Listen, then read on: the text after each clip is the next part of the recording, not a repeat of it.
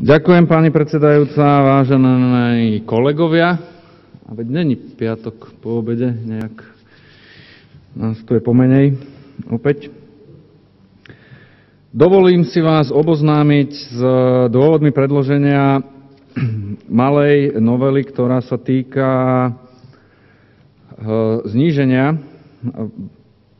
hranice možnosti zúčastnenia sa volieb pre e, ľudí od 16 rokov. Čiže hlavným účelom e, predkladanej novely zákona je po vzore iných štátov z Európy, e, najbližší k nám je Rakúsko, znížiť vekovú hranicu aktívneho volebného práva, čiže práva voliť, zo súčasných 18 rokov na 16 rokov veku života. Touto úpravou sa Slovenská republika teda priradí k viacerým štátom, ako je napríklad spomínané susedné Rakúsko, kde takýto právny stav funguje uh, už minimálne niekoľko rokov.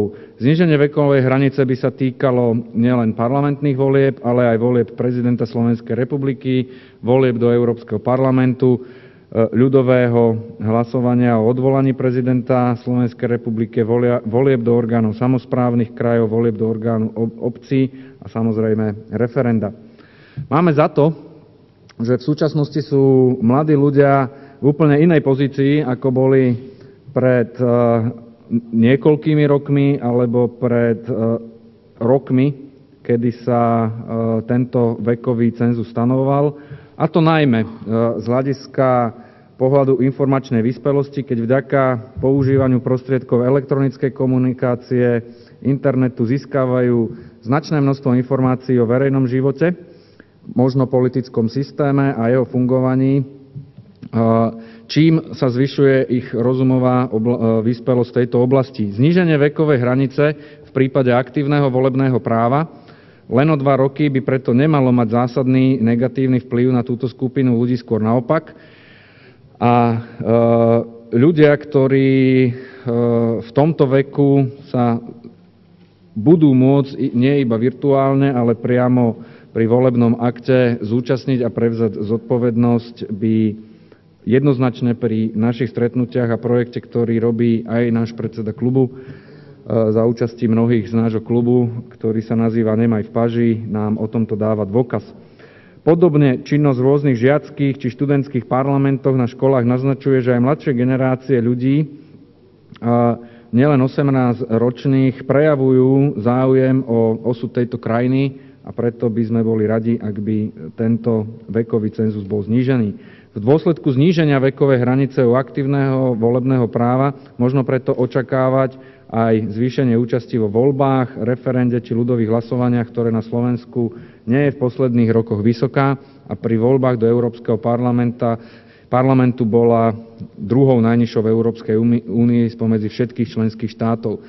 Na Slovensku volebným právom v súčasnosti disponuje aj niekoľko desiatok tisíc ľudí s neukončeným základným vzdelaním. Preto sa nazdávame, že rovnaké právo môžu dostať aj mladí ľudia, ktorí vzdelávanie, tzv. povinnú školskú dochádzku ukončili.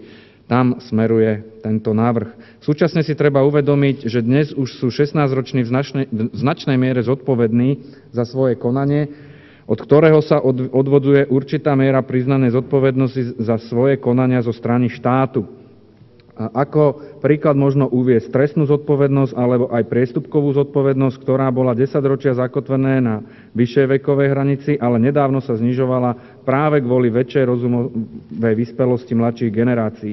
Navyše vzhľadom na neustály trend starnutia populácie sa prijatím návrhu zákona zvýši podiel mladých ľudí na výkone aktívneho volebného práva, čo bude znamenať vyváženejší pomer jednotlivých generácií na rozhodovaní o veciach verejných. Preto a pre všetky tieto dôvody môžeme oprávnene konštatovať, že Slovenská republika je dostatočne zrelá na to, aby sa zaradila medzi štáty, ktoré prijali právnu úpravu umožňujúci mladým ľuďom voliť svojich zástupcov v rôznych voľbách, referende a ľudových hlasovaniach od dosiahnutia 16. roku veku. Predkladaný návrh zákona si myslím, že reaguje na e, spoločenský trend a po tomto úvodnom slove e, vás žiadam, vážení kolegovia, o podporu. Ďakujem.